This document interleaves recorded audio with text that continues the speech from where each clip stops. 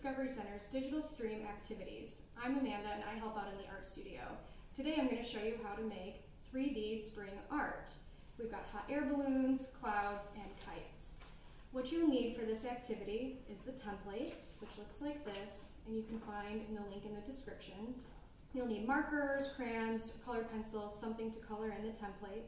You'll need scissors, a glue stick, and another sheet of paper. What you'll first do is color in your template, which I have done so already here, and then you'll need to cut out all of the shapes. Once you do that, you'll take uh, one of the shapes. I'm going to start with a hot air balloon. You're going to fold it in half, take some glue, and just glue on one side. You'll take another one of the hot air balloon shapes, fold that in half, and glue one side to the other.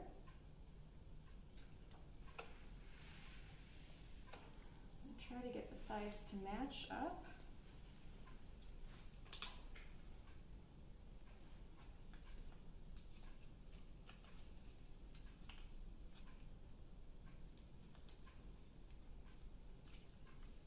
That one more time with the third shape here.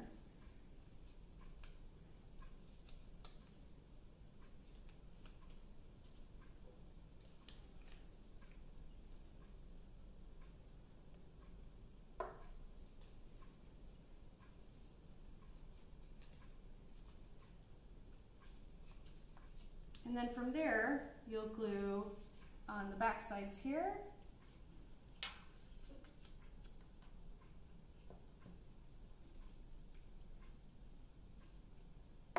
onto your other sheet of paper.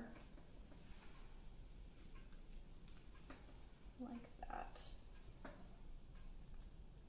And then from there, you can take uh, markers, crayons, pens, whatever you've got to add some other details, like the basket for the hot air balloon. Like that.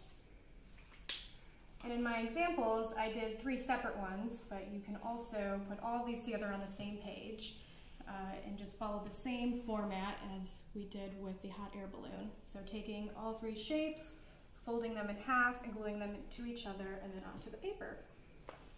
And that's it for today. If you make this at home, we'd love to see your artwork. Go ahead and post it on Facebook or Instagram uh, with a hashtag Discovery Center Science. Thanks. Subscribe for more daily science, crafts, and activities, or visit the Discovery Center Museum Playful Learning at Home webpage for more information.